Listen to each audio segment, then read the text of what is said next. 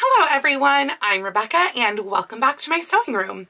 However, we are actually going to be leaving this sewing room for the first part of this video because we are going back to what I sewed while I was in Hawaii.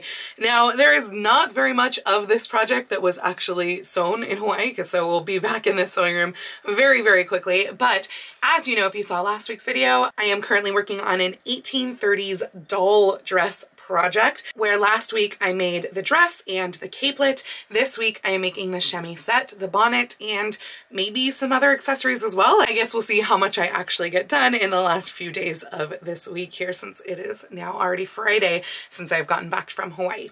So let's go ahead and we'll go back to what I was working on while I was in Hawaii and check out the chemisette. This is the chemisette. So you can see the pattern pieces are right here. So we've got the chemisette. I think this is the fronts right here. This is the back, which is cut on the fold. These are just like single layers. And then there's a little collar and that is going to have lace applied. And then there's tape that will go through the channels of the chemisette and some neckline binding.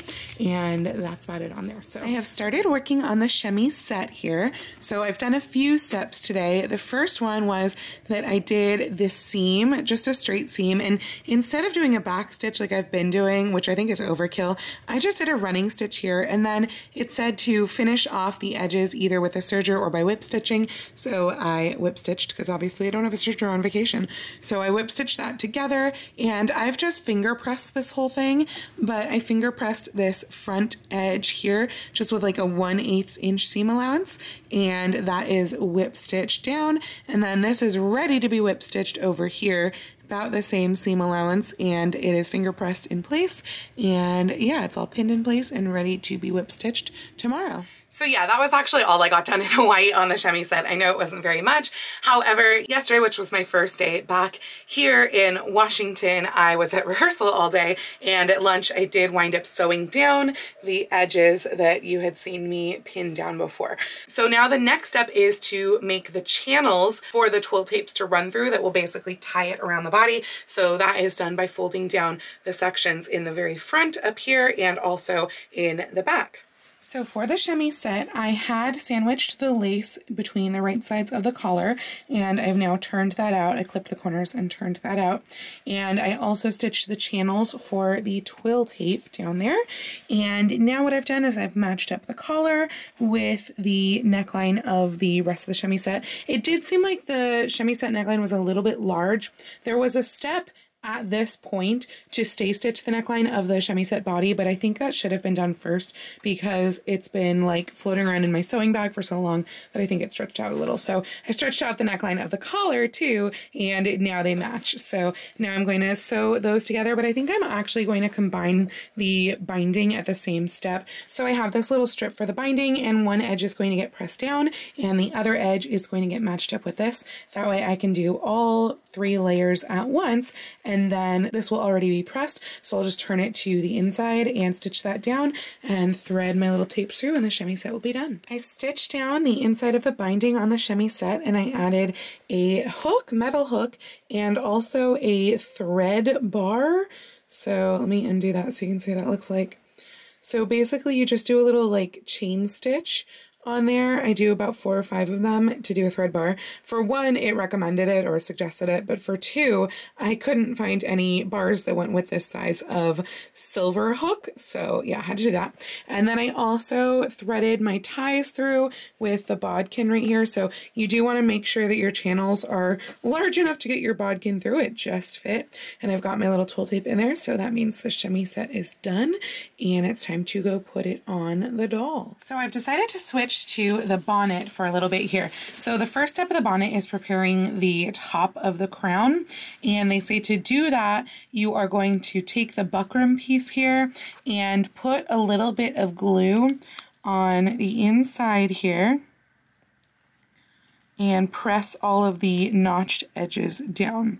Now I'm doing this out of silk, so I'm really hoping with there's no mulling on this bonnet and this pattern instructions, so I'm hoping that none of this glue will wind up showing through the outside of the silk.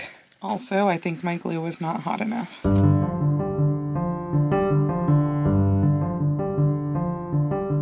You can definitely see the texture of the buckram through. I think you can see that there, but I don't really see the glue itself discoloring anything. However, it looks like I did snip one a little too close because it's kind of fraying there. So maybe I'll put some fray check on and see if that will work. Then we're doing basically the same thing for this piece right here. Now the back of the buckram gets glued together and then this gets lapped over and hand stitched in place before the top gets glued in over the edge like that. Just a quick note, something that the pattern doesn't mention is that you do actually have to notch this because otherwise this can't be pinched down. So another change that I'm going to make is that I'm actually going to redo the top part of the crown here. Now, I've done a lot of millinery.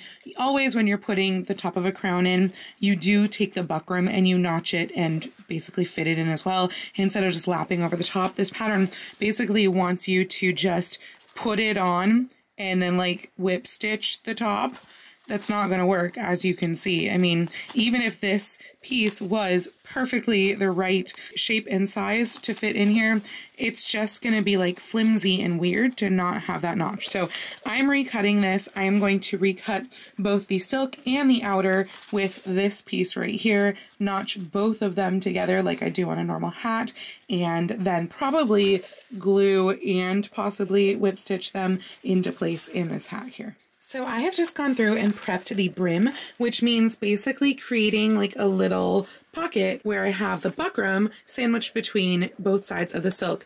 Around the exterior here, I have hand whipped all of that in place, catching the buckram.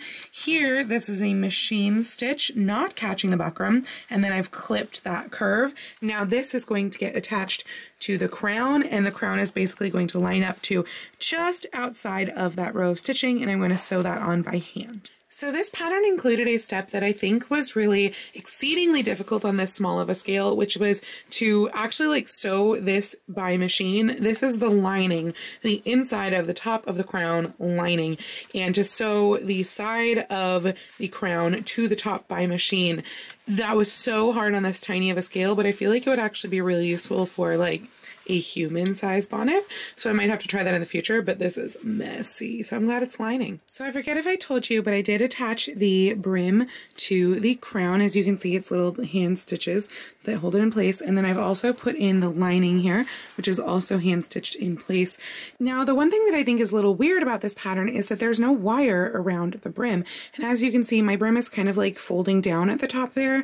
So the next step is to do the binding. Really, it's the last step, but I think I might actually put some wire in the brim first if I can figure out how to do that now that I have the silk on and then put the binding on. I went ahead and wired the brim as you can see. Even though it wasn't flat, I was able to do most of it by machine basically until I got to down here and then I whip stitched this portion on. So now let's do the binding and then we can decorate. So the base of the bonnet is now complete. I finished all of the binding along the edges. Now that said, it honestly seems like a little small like it's very small in the crown compared to Samantha's head. I've tried to kind of put her hair up into a bun because it does say like you need to put your doll's hair into a bun or at least a half bun to hold it on the head. But as you can see, like I put it on and it just kind of falls. Maybe with the ribbon ties, it'll be a little better. I could also try the half bun. The bangs I know look ridiculous with 1830s, but uh, yeah, it does seem a little on the small side. So let's start to decorate it and see how that goes. I have finished decorating the bonnet, so I added this ivory eyelet trim all the way around the outside or the underside of the brim. And then in the back, I made this little rosette that it's actually made of like the cutoff piece from the long ribbon that I put on the crown. And I just had a little bit more on one side than the other because it was two pieces of ribbon that I joined together. I don't know if I covered it, but basically there's a seam under there. And I also had this bow that is also the same ribbon. So I did the bow and cut off that and then glued it on, sewed the two lengths of this ribbon together and put it around the brim, did a little like pinch right here and just put a spot of glue there and a spot of glue there. And then I glued the bow to the ribbon. I glued this little bit of millinery flowers in underneath the bow and I glued the rosette to the ribbon as well. So really the only glue on the outside of here I think that's on the bonnet is right here and right here. Everything else is just to the ribbon. But yeah, it's looking quite cute. The other thing that I did, at first I had tied it on under her chin and it was still doing that gappy thing right back here. So I actually just took a straight pin and I just put a little pin right there. I don't even know if you can see it. It's black, so it blends in. And I just pinned it in through her bun. That seems to be working. So for the lacy pelerine, I have pressed in and done a little narrow hem on the machine here. This is just pressed up, but I'm not really sure what's happening to it because it's only been pressed up once. And now I'm applying the lace. I'm using the same lace that I used for the chemisette, so it is pre-gathered lace.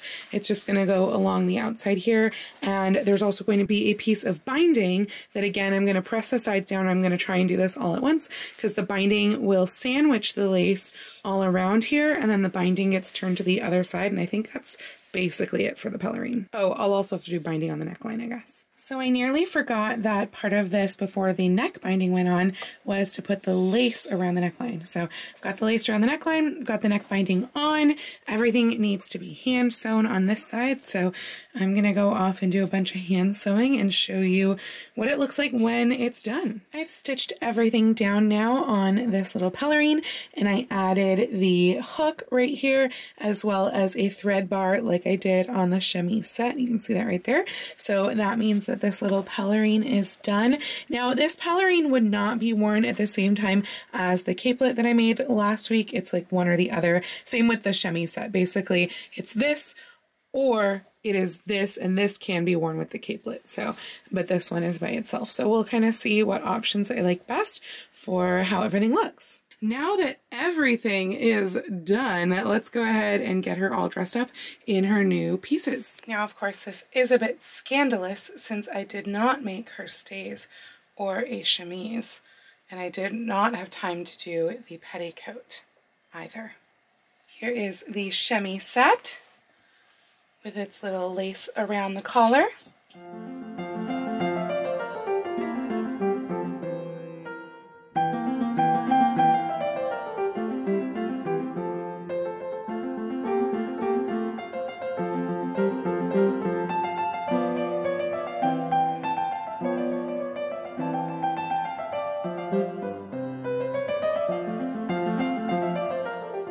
Hadn't opted to go with the chemisette, we could put the pelerine on instead. So this is what the pelerine would look like.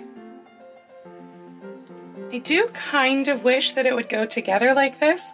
I feel like I'm more used to seeing pelerines closed in the front, so I might decide to add a couple more hooks and thread bars as we go down the front like that, because that seems like a better look.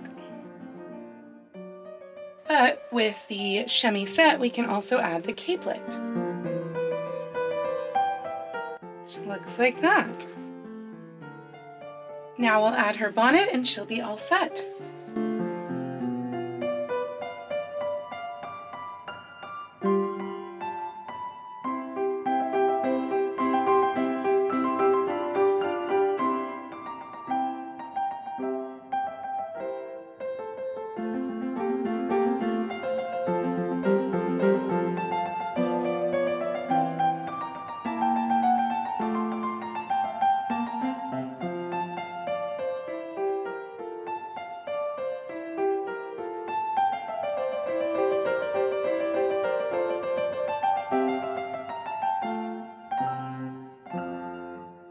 So overall, I'm very happy with how her ensemble came out. And honestly, like, if I had not done a lot of this as hand sewing, I probably could have made this entire ensemble from start to finish in about like a day or two, maybe even less than that, depending on how much machine sewing I had done. The bonnet did take a lot of hand sewing that you really can't do by machine. So I suppose that other than the bonnet, it would probably all be doable in about like a day. And then the bonnet might be its own day. So yeah, I'm very pleased with how it came out. And actually I like it so much that I might even make one for myself. This may very well be my fall project for next year to make myself a pumpkin 1830s look because it's super cute and I actually have been wanting an 1830s dress made out of cotton because I think all of my 1830s dresses are silk if I'm remembering correctly. And it would be nice to have something that's just like a little bit easier and you know less worrisome to wear. And I love how all of the different accessories can really change up the look of the outfit too. And the bonnet is just gorgeous. So yeah, very, very pleased with this. I mean, I can't recommend Pemberley Threads patterns highly enough. They really went together so, so well. I think I mentioned like the one or two things that I would have done differently, especially for the bonnet, but like honestly, overall, like the shapes are great. Everything went together perfectly, like one shape to another shape, which was nice. Sometimes you don't get that in like, you know, small business pattern companies. Sometimes you don't, and it really did work well. So yeah, this was really fun. Just like a nice little project, stepping away from, you know, big historical projects for me, which is what I'm going to start doing next week. So do make sure that you check back next week because we'll be beginning that 18th century stays journey and I am scared. So it was nice to have kind of a nice easy project that could be done relatively quickly beforehand.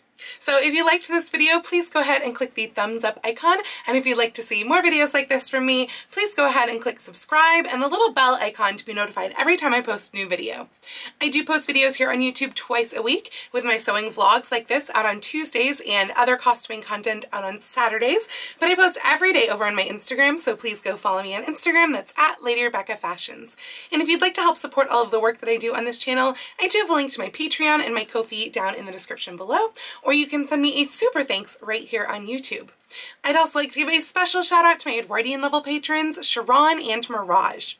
Thank you all so, so much for joining me today. Have a wonderful week, and I will see you very soon in my next video. Happy sewing!